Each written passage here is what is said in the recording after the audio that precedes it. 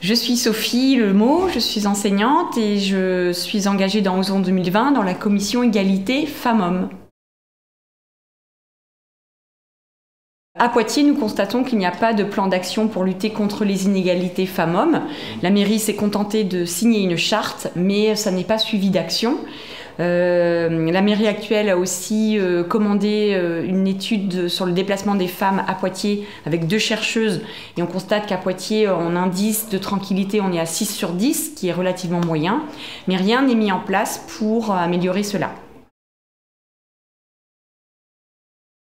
Nous voulons développer en fait un plan de prévention non anxiogène, émancipateur pour que tout le monde fasse de ce problème de harcèlement de rue le sien.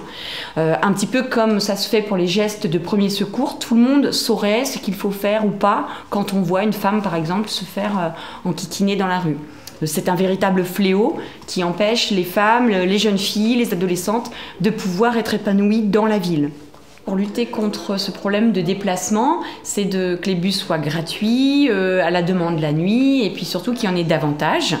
Et puis surtout, nous voulons appliquer la loi 2014, l'article 61, qui n'y est appliqué nulle part, c'est-à-dire de faire un budget paritaire, égalitaire ou aussi genré. Par exemple, nous avons constaté que dans les villes, 75% euh, des euh, structures euh, pour le loisir, pour le sport, sont en fait utilisées par les hommes et les garçons. Donc nous nous, retrouvons devant, nous sommes devant une inégalité devant l'impôt.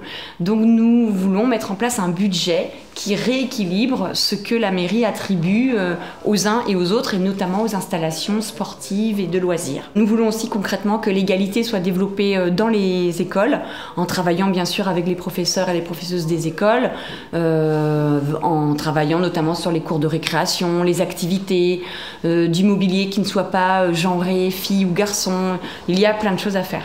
Nous voulons aussi développer un habitat qui, soit en fait pensé pour les femmes, un peu à l'image de la ville de Vienne où on s'est aperçu que les machines à laver étaient beaucoup plus agréables à utiliser quand elles sont au-dessus, euh, non loin du toit euh, végétalisé par exemple, que en bas dans des sous-sols un petit peu lugubres.